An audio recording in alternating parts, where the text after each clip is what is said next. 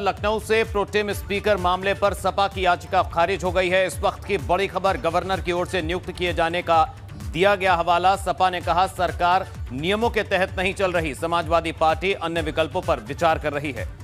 तो बड़ी खबर आपको बता दें, इस वक्त की बड़ी खबर गवर्नर की ओर से नियुक्त किए जाने का हवाला दिया है। समाजवादी पार्टी ने प्रोटेम स्पीकर मामले पर सपा की याचिका खारिज हो गई है।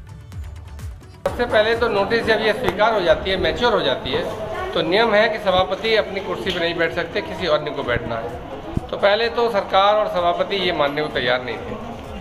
बाद में उन्होंने चैम्बर में बहुत बहस की, कोई तर्क नहीं है, कोई संविधान में और हाउस के जो रूल्स हैं, उनमें गुंजाइश नहीं है कि वो अपने पद पर रह सकें, वो उस नोटिस को खारिज कर सकें। लेकिन पहले उन्होंने काफ़ी बात कन्विंस करने की कोशिश की, मनाने की कोशिश की जब कुछ नहीं बना तो उन्होंने ये इस आधार पर इस नोटिस को रिजेक्ट कर दिया कि ये सभापति गवर्नर द्वारा नामित हैं, इसलिए इनके खिलाफ कोई अविश्वास नहीं आ सकता।